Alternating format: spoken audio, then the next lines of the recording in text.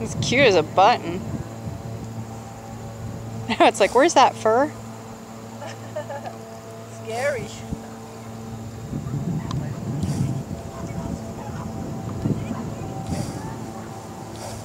Oh, oh.